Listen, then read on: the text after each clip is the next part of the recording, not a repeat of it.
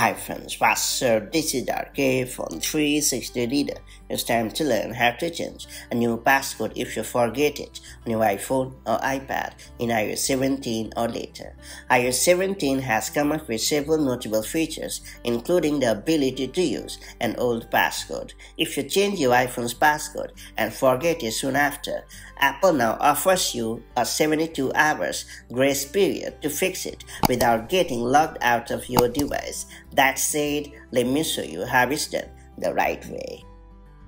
First and foremost, once again, I would like to point out that in iOS 17 and iPadOS 17, it is now possible to reset an iPhone or iPad's new passcode with the previous passcode you used for up to 3 days after the change is made. In other words, Apple lets you use your old passcode within 72 hours of setting a new one, which is handy if you are someone who is likely to forget a newly created passcode. When you enter an incorrect passcode on a device running iOS 17 or later after making a change, simply tap on the Forgot Passcode option at the bottom of the display to use the Try Passcode Reset option.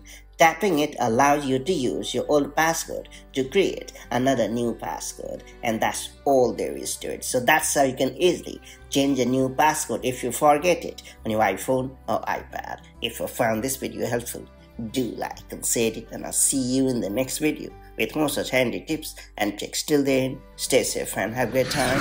Bye bye.